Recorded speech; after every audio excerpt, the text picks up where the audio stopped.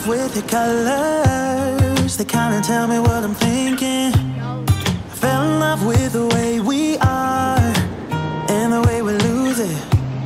There's something different about us and the reason why we stay. Hi friends. I am, Yeah, can you want to show them? yeah, I'm still having to work on the hooks. She Like- just, we just got her some new, um, she's liking to make chains and necklaces with little have to make doodads on them, right? I still have to work on the hooks to like be able to wear it, but Right. that's it. Okay. And you're going to get ankle weights from, yeah. It's just crazy. Yeah, I have to walk. Take around. some socks.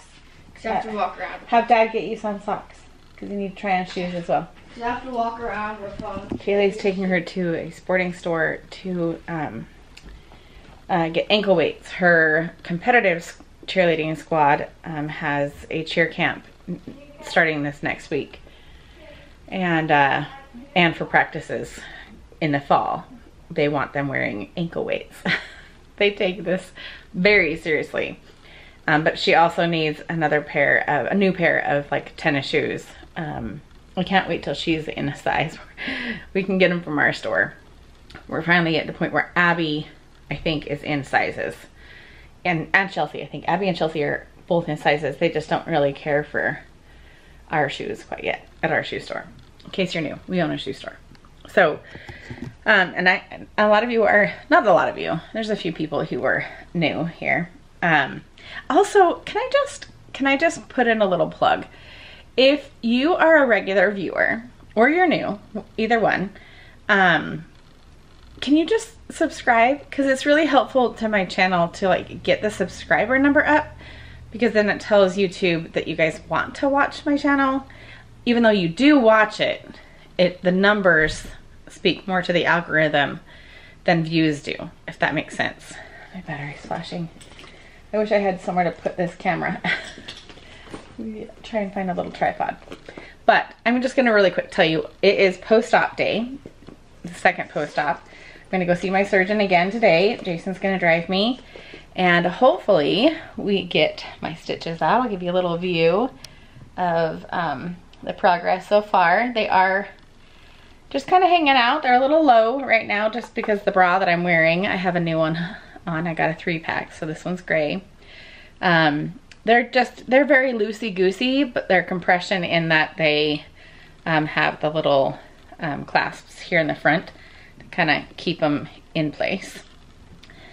I almost wish I could wear one that was a little bit tighter because the bumping and, and jostling during driving kind of irritates them with movement. But um, it feels good here around the house, which is what I need to be doing more often. So post-op is what we're doing um, here in just a few minutes with Jason. And we will find out if stitches are coming out, if steri strips are coming off, if I can get the battery died. we'll give an update from the doctor's office with progress and um, how things are looking. Both of my drain sites are pretty much, they're not healed completely, but we are no longer putting um, like gauze and ointment on them and, and taping them up. I was, I think, breaking out more in rashes from the tape um, than the gauze was healing the actual wound. so I was like, I'm done wearing the gauze. Um, so I'm actually gonna ask the doctor if I can maybe put gauze, regardless of what happens with incisions and whatnot. I might ask him if I can put um, some gauze or something underneath like my bra to kind of protect that line against the incisions, regardless of whether there's actual um, stitches in or not, because I think it's just sensitive. So lots to talk to the doctor about today. We will follow up with you guys along the way. Um, I had a friend come over last night and she hung out with me here on my little couch in my room. She's like, no wonder you like this so much. It's so cute. Um, and brought us, she brought us some salsa and some homemade salsa and chips and some fruit and some cookies. And my kids were like, you have the best friends. And I do. I have great friends that really support me. Um, so anywho, let's head over to my post-op and find out how I'm doing. I mean, I'm feeling fine. I'm dressed and I'm, I got this new shirt from Old Navy when we went out the other day. I feel good. I just, I also want to ask the doctor if I can like wear like a, like I want to get like a tighter tank top, like almost like a sports one or a compression one or something. Cause I feel like when I go out and, and drive, which I only try and get out once a day, um, I kind of feel like I'm constantly like wanting to hold everything and keep it held tighter. So I kind of want to ask him if that would be okay to do. So let's go find out. Forgot to mention this today is day 11 post-op. Jason and I were just talking. Like, are we quite, are, we're not quite two weeks out. So. Feels like a long time ago though. I know. Um, so my friend that came over last night, she said, Dayna, I think, she's like, I know that you're being vulnerable. I know that like not everyone talks about this kind of stuff, but I think that like it needs to be. She's like, and I told her, I was like, when I did searches for this type of surgery on YouTube, I could only find ones that were like three years old or five years old or 10 years old. I really didn't find anyone that was maybe like one that was like a year ago, but they didn't document like their whole journey. They would just like document the days or the hours. Um, oh, today is day, you know, post-op day five. I feel great but then that was the only part of the day that she had filmed. So I'm like, yeah, I'm betting, knowing now how I felt probably on day five, there was a couple hours where, yeah, I probably did feel good. But then the other part of the day, I was probably asleep and stuck in bed. And and there's more of a day-to-day, hour-to-hour type of um, reviews of this surgery on TikTok, but I just, I haven't seen them on YouTube. And I don't, I've thought about like taking it to TikTok or even just adding a few of my daily clips of recovery to TikTok. I just haven't done that yet. But I think it's important to do so here on YouTube because there aren't current day conversations about this surgery and it would be it would have been really helpful to me and so I don't mind being that source of someone who's really documenting the actual reality of this surgery. there surgery. could be somebody who did documented their whole thing, but they only have like 10 followers, so YouTube doesn't push yeah it. like so i'm not i'm not gonna see it and so um anyway i don't you know it might make some people uncomfortable but i don't care because i needed to have conversations about this type of surgery and um it's i don't know so i'm Sometimes life is uncomfortable, so we just listen to other people's experiences, yeah and or we don't, or we just say, yeah, I'll skip those Yeah. conversations. Yeah. Go back for another one that I'm comfortable with, but yeah this, there doesn't seem to be a lot of women that are curious about this or want information but don't feel like they can talk about it. Yeah, and I've even talked to some men um, in my life who have, um, not him, but men in my life who have daughters and wives, and they were uncomfortable with me talking about this type of surgery. And I was like, you have a wife and you have daughters. You need to start, not just them, but like in general, like men who have children, who have daughters, who have a wife. Um, or other, you know, spouse and spouse, you know, um, guess what? You might need to talk about that kind of a topic with them at some point in their life, whether it's them wanting to have a reduction or they need to have a mastectomy because they get breast cancer. Guess what? Uncomfortable conversations need to happen, whether you want to have them or not. I I'm don't sure know. moms didn't want to have to talk to their sons about how to solve jock itch and fun things like that. So But we did it anyway. I mean, I didn't, but we didn't have any boys, but I know. I'm just saying, like, I'm trying to think of uncomfortable moments that my mom had to talk to me about. Yeah, we just have to do it. So, anyway, I'll get off my little soapbox and we'll go find out from the doctor how I'm doing.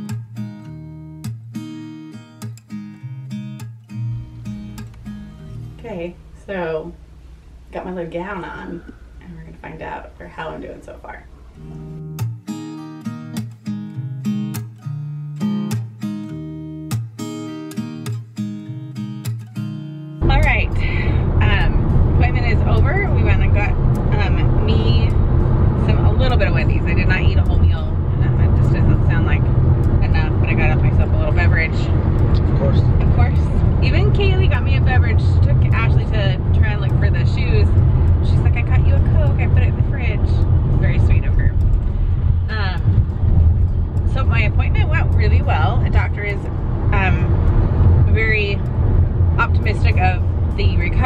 He likes that I'm still being cautious and little hands and arms to my side.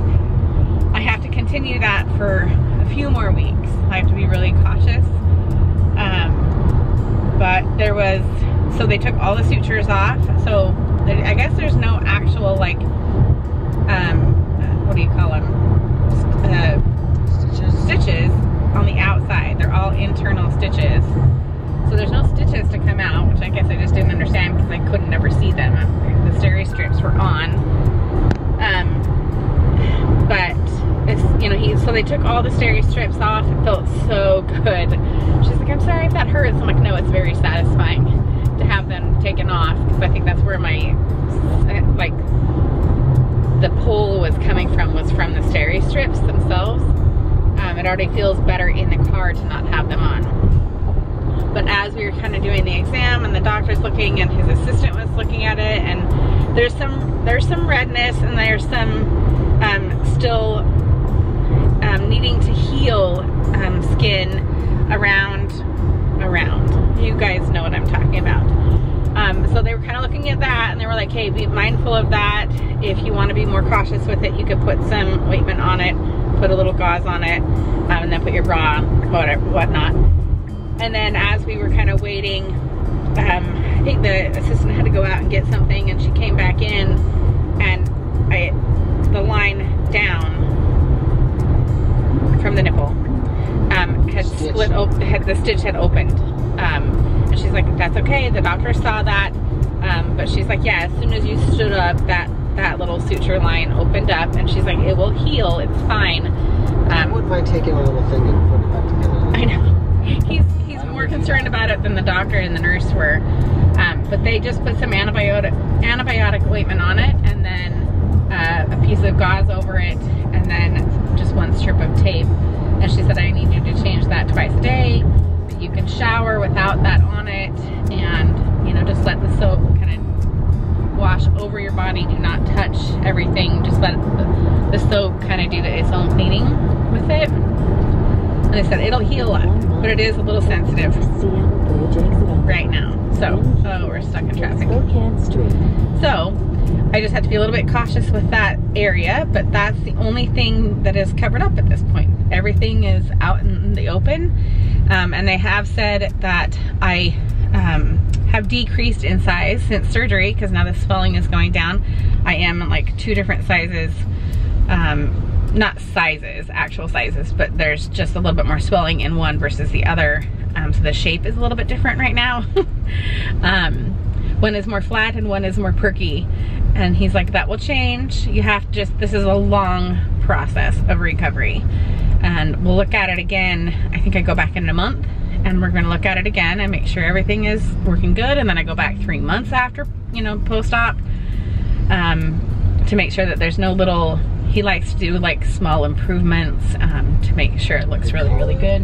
Yeah there's little folds that can kind of come up in the crease marks um, that can be perfected is what he said um, that he can do in the office. So everything went great and I feel good about everything. Um, even though I showered last night it almost will feel good to go ahead and shower tonight again. I showered last night. Did I say tonight anyway I forget there's a car coming over here um, I'm gonna put the phone camera down because we're kind of in the middle of Seattle traffic now. kind of going a different way home. Thought it would help, but it's not. Um, I feel good about everything. He said I could actually order another set of these same bras in a smaller size. He said don't go two sizes small because I don't want them compressed. Like no sports bras, nothing, just wear these ones. But he's like, you are a size smaller than even the one you ordered a week ago, which is insane to me because I've never been, I mean, I don't now even, we know to like not order too many. yeah, but I'm gonna wear these ones at night because I still can't go willy-nilly. I can't like not wear a bra. I have to wear one at night. Free willy. I can't, what? What did you say? Well, they call it free ball in it, but I guess you call it free boob in it. whatever you call it. I can't go without wearing one, but it'll be nicer at night to have one that's a little bit looser, and then during the day when I'm wanting to kind of protect them more to wear the smaller one.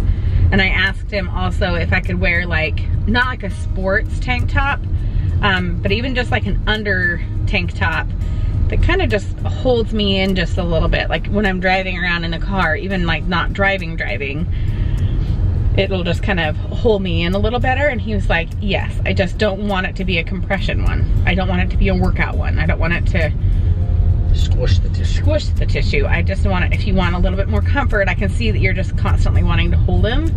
I said, yes, I just want something to kind of hug me a little bit more. Um, I'm technically not free to drive um, consistently for about another week, but he said, I understand you have a life and you have kids. Go a little bit.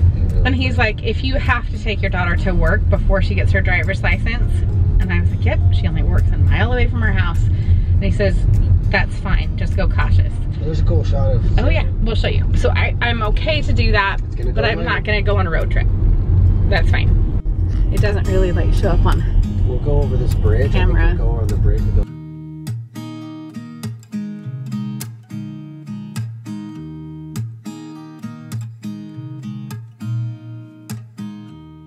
Okay, we just got home. I'm gonna go and rest, but one, Jason has some laundry cut out for him. There's tons on the floor, but he's doing his duty. I can't wash my car for another couple, probably a couple weeks.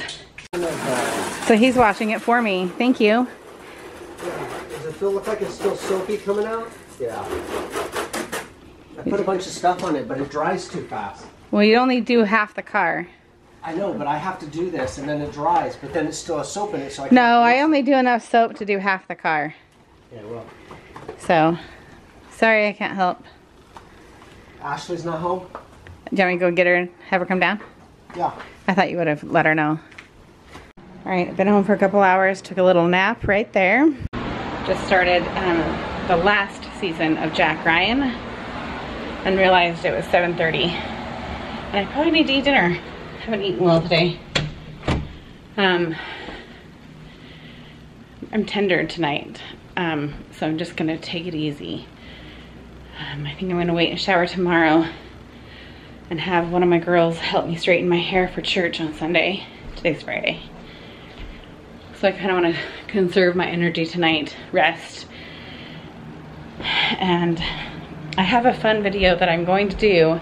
I just don't know when I can post it because I have a sponsored product that I just received.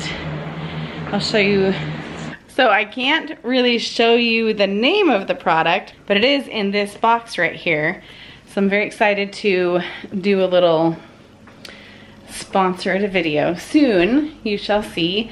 But I also have some Tesla accessories that I got. Um, hint, that product might be related to my new car. Um, and I have some new accessories and I want to put them in my car, but I got them like the day before my surgery and so I haven't, I have wanted to put them in the car myself and I'm kind of stubborn. And so they've just been sitting down here underneath um, the counter. No, they're underneath my desk. Um, waiting for me to feel good enough to get back out to my car. And now that he's cleaned my car and I might film all of that, show you all my little accessories um, on Sunday when I look nice and I have my a new dress that I just got. I'm gonna feel very pretty after this surgery, even though I'm still really sore and and whatnot. Um, so stay tuned for that. Just FYI, stay tuned for that. Just might not be in schedule with like day to day because I have to get it approved. It's my first one, my first video that I get to make that I actually have to send off to get approval on, kind of cool. So stay tuned for that. I know you guys are gonna be excited for me to like kind of get that status of you know, it's just like a status of YouTube that you achieve for, or at least some achieve for it, you know. Makes it kind of fun because I don't accept products. My inbox is filled in my Instagram with like dinky jewelry. I don't wear jewelry and and like stupid products that I'm not gonna get free and and give a shout out about because I don't use them. I don't believe in them or whatever. But this one I actually found the company. You'll see. I'm, giving away too much information. So I am, just hold on and you'll see that video soon. But um, I am making myself a lot of vegetables. Um, for dinner, there is chicken in there. It's the garlic chicken pasta from Costco, minus the pasta, because that's what Abby eats. I'm gonna make that for dinner and I'm gonna call it a night because I need to rest. Um, it, my arms. It's only been 11 days since I haven't like, you know, used my arms at full capacity before, like before surgery. And my arms get tired after like 30 seconds of holding this stupid camera up. Um, so that'll be nice to like recover from. Um, but I'm gonna say goodnight to you guys and thank you for joining me on this journey. Um, I'm thinking at the, like the two week mark, I'm gonna do like an overall view of the entire process and kind of close out this recovery playlist, if you will, here on my channel. And then just kind of give you little tidbits of information along the way as I slowly recover beyond that. So thank you for joining me in this little um, surgery and recovery and, you know, making myself feel better about myself, which I do. And my doctor was very pleased with how I look and how the surgery went and how I'm recovering because I am taking care of myself. So take care and we'll see you guys next time. Easy.